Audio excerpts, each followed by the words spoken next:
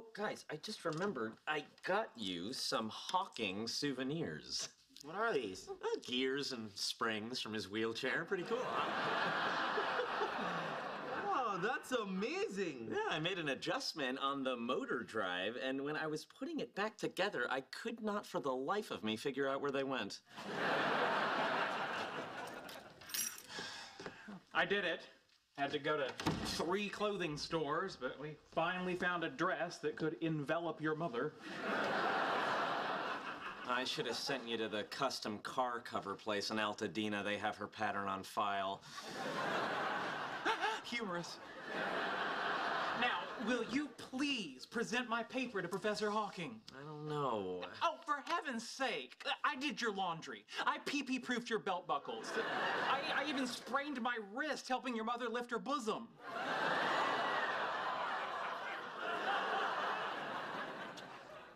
All right, Sheldon. There's only one thing left I want you to do. Uh, Don't worry, it's an easy one. Okay, Give me a compliment. fine. You have very tiny hands.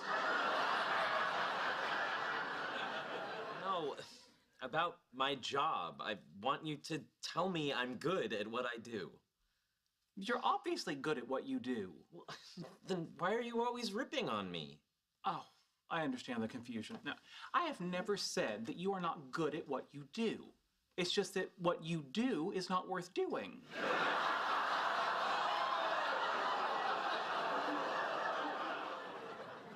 It's nicer than anything he's ever said to me. I'd take it and run. Thank you, Sheldon. Now, will you give my paper to Hawking? Sorry, I can't. What? Why not? I gave it to him three days ago.